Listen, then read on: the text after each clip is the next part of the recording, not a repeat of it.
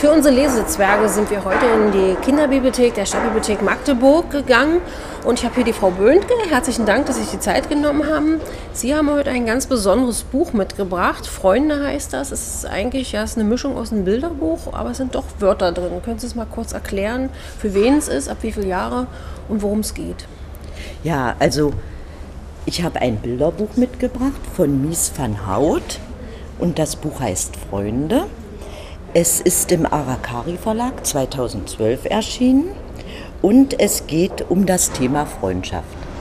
Es ist ein Buch, was schon von der äußeren Gestaltung sofort ins Auge fällt. Die schillernden Monster, die zu sehen sind, kommen lustig und tollpatschig daher. Die Bilder sind auf schwarzem Untergrund gezeichnet.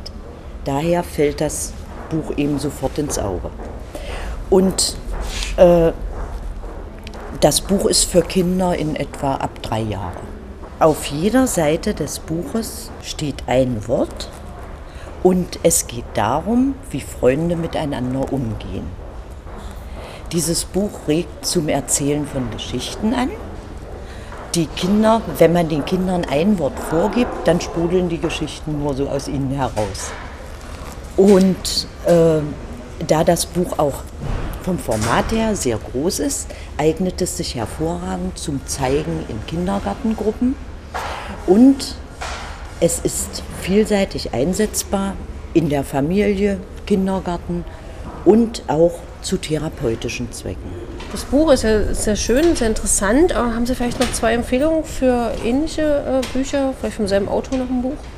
Ja, von dem gleichen Autoren könnte ich empfehlen ein Bilderbuch zum Thema Gefühle. Das heißt Heute bin ich. Und ein anderes Bilderbuch noch zum Thema Freundschaft wäre äh, Dumme, ganz blöde Kuh. Gut, dann danke ich Ihnen. Und liebe Zuschauer, wir sind demnächst auch wieder in der Stadtbibliothek und schauen uns dann um, was es aktuelles an Büchern gibt. Freuen Sie sich schon jetzt auf die nächste Ausgabe.